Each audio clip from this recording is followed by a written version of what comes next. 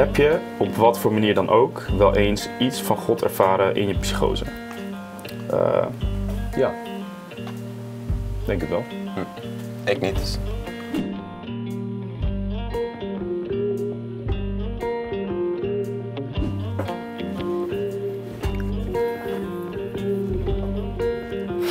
Hi, ik ben Kevin Charmes, ik ben 24 jaar. Ik heb afgelopen eind september, begin oktober uh, een psychose gehad en ik geloof in God. Hallo, ik ben Simon Grovers, ik ben 21 jaar. Ik heb een jaar geleden mijn eerste en enige psychose gehad en ik geloof niet in God. Wat ik me afvroeg is uh, wat voor psychose je hebt gehad. Ik heb zelf meer een grootheidswaanzin uh, psychose gehad. De psychose die ik heb gekregen als, als label is een bipolariteit. Mm uh, verder heb ik best wel een aanspecifieke stoornis gehad daarin. Uh, vrij algemeen, verschillende type uh, klachten voorbij zien komen. Wat is het meest bizarre dat je hebt meegemaakt tijdens uh, een psychose? nou, dat is denk ik mijn, mijn eerste keer dat ik echt, eerste echt hallucinatie, of niet dat ik iets zag, maar dat ik iets heel anders bij dacht gewoon. En, en toen was ik op de markt en toen was ik al in mijn, in mijn, in mijn wolkje, zeg maar. En toen, uh, en toen, toen, zat ik zo om me heen te kijken van oké, wat valt op, weet je wel. En toen liep er opeens zo'n uh, zo'n konijntje, zeg maar, zo'n mascotte. Het was paasmarkt en liep opeens zo'n mascotte. En ik dacht, oké, die is er voor mij om mij uh, iets, iets duidelijk te maken of zo, weet je wel. het, het, leek echt zeg maar op dat filmpje van, van die basketballers. En dat er dan zo'n panda doorheen loopt, weet je wel. Wie ziet de panda? En ik ja, dacht, ik, ik zie de panda, de rest ziet de panda niet. Maar die is hier voor mij, weet je wel dat was wel erg raar, joh. Ook achteraf, echt maanden daarna, heb ik nog wel eens gedacht van... Maar dat is gewoon niet wat, weet je wel. Van, dat je er zo erg van overtuigd bent op dat moment. Wat ik het meest bizar vond, nou, dat was eigenlijk toen we in het ziekenhuis waren en uh, een van de medepatiënten zich op mijn kamer had verstopt. Dat vond ik wel een beetje bizar. Ja. Ja, ja. maar dat is niet echt iets, dat is gewoon een raar, raar gedrag. Wat ik wat denk ik toch wel wat meer bizar vond, ja, ik was toen uh, bij iemand aan het slapen en dit was de dag dat ik werd opgenomen. Uh, de ambulance kwam eigenlijk om te checken of alles goed was. Ja. En uh, ik zat in een soort van seizure-achtig iets. ik kon mijn ogen niet open doen, ik kon mijn benen niet gebruiken. Het klinkt een beetje op lucide droom of zo. Het was alsof ik wakker werd terwijl ik sliep. Ja. Dat was een beetje het probleem. Dus waarschijnlijk slaapverland. Ja. Op wie kon je terugvallen tijdens je psychose? Dat is een mooie vraag. ten eerste familie familie kon ik veel terugvallen. Verder goede vrienden en uh, ja, de kerk. Ja, heel veel mensen hebben mij geprobeerd te helpen, maar ik kom niet echt, uh, nee, het kwam niet echt tot mij binnen. Wel achteraf, ook zeg maar in de, in de hele nasleep ervan, ja, zijn er wel uh, veel uh, vrienden, maar ook familie hebben wel uh, veel gesteund erin. Je staat, hoe verwacht je dat de ander de vraag gaat beantwoorden? Dus ik moet een verwachting over jou uitspreken. En dan is de vraag in hoeverre is het leven nog waardevol tijdens een psychose?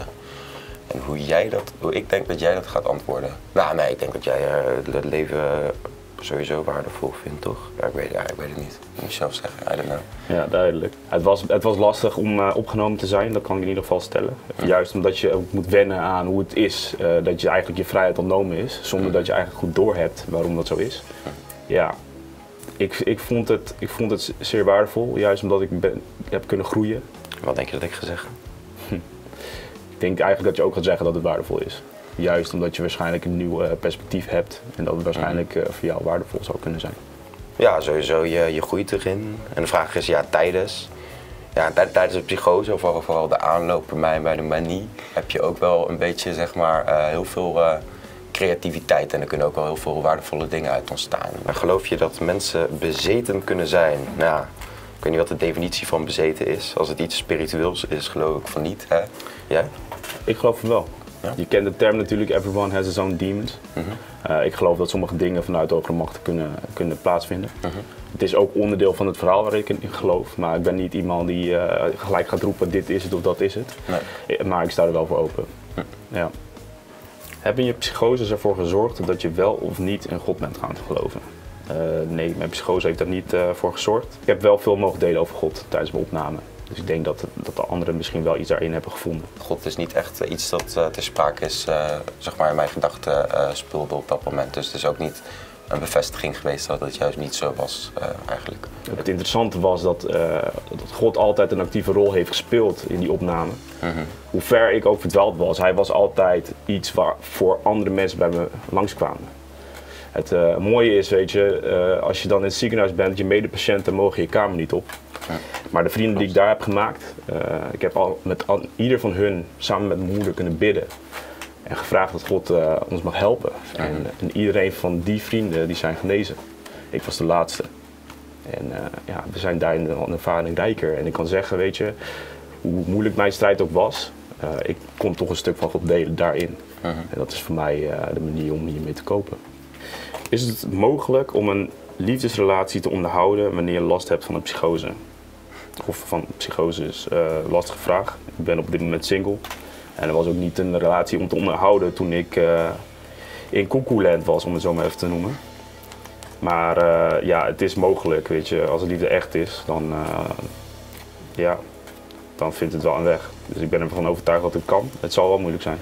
Uh, nou, ik had in de aanloop van dat ik wel een uh, relatie, een vrij uh, heftige relatie, aantrekken, afstoten. En dat zij me dan graag wel helpen, maar dat ik naar niemand luister, alleen maar naar mezelf. En alles wat ik zeg, denk ik geniaal te vinden. Dus ja, we hadden sowieso een beetje een relatie van Johnny en Anita. Gewoon uitgaan en strijd hebben aan de hele wereld. En dan ruzie en dan was het weer goed en dan enzovoort. Maar nee, ik denk dat het vrij moeilijk is om een stabiele relatie te onderhouden.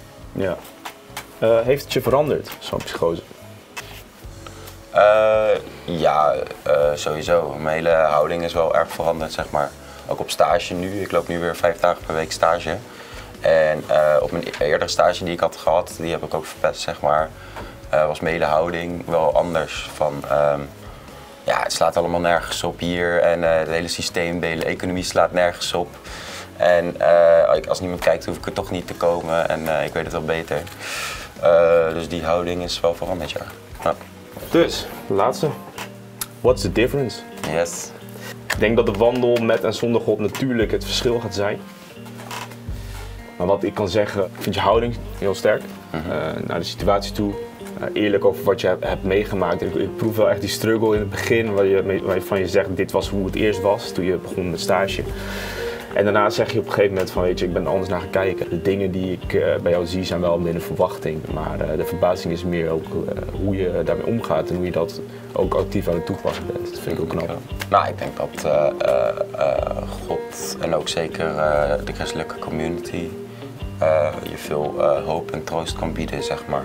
Ik denk dat dat toch wel wat anders is als je, dat, als je daar niet in gelooft, zeg maar. En je het echt puur moet zoeken uit je naasten en familie. Dat is wel een verschil, denk ik. Nou, tof ja. man. Goed gedaan. Inderdaad, hetzelfde. Dankjewel voor je openheid. Ga je goed. Ga je goed. Kat. Ik vond het leuk om te doen. Ja, Inderdaad. Top.